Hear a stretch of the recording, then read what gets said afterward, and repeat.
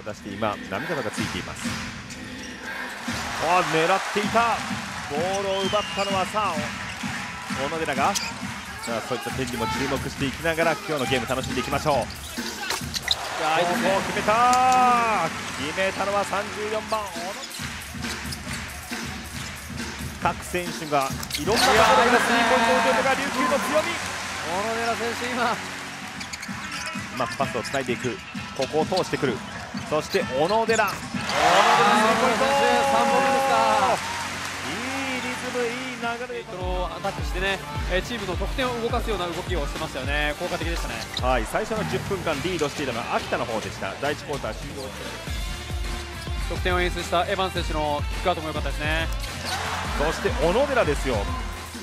ここはオープンを作った。あここ小野寺選やー高確率です。この男も初。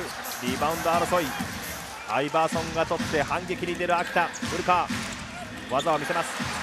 うわーボールへの執念だ。手フロアダイブ。いやーアリーナが沸いています。すごい拍手だ。そして最後カメラマンも気遣う。カメラマンにも優しい。うーわさあここも慎重なのアイバーソン。選手のはいけない。黒川キングス一筋。木本のおしゃれなパスが通って勢い。が止まらない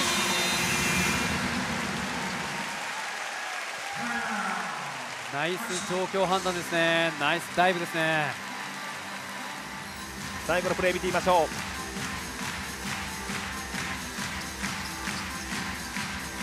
やー、おのおの選手がね、選手にね、ボールが集中したと同時にですね、小野寺選手がダイブしましたよね。はい。で、その後にダダーラム選手がしっかりそして今名前がコールされたのが34番小野寺翔太です。